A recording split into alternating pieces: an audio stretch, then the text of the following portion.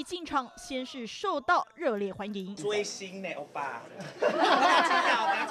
热情粉丝要求自拍合照，还有民众要交杯友谊茶。侯友谊几乎来者不拒，因为这可是他的主场。确定参选之后，首场的竞选活动。这一次是来选举，我们碰上了不管任何多少个艰难、挫折、挑战。对我来说，这只是人生的一个过程当中一小部分而已。说只是一小部分，但新北这一仗先是碰上文大宿舍争议，前文大校长也发出一纸声明，直指每年租金调涨百分之五的是侯友谊妻子坚持的。当年有当年的时空背景、时空的环境，而且两造之间的合意签约，一个合法多年的旧案。哎，被炒过很多次了。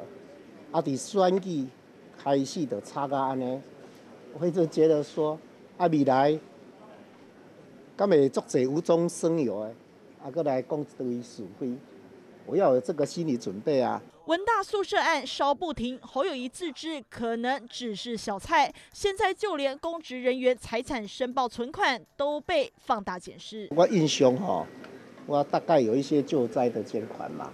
还有一些大概就是请朋友吃个饭吧，啊，或是买自己买一些喜欢自己的东西吧。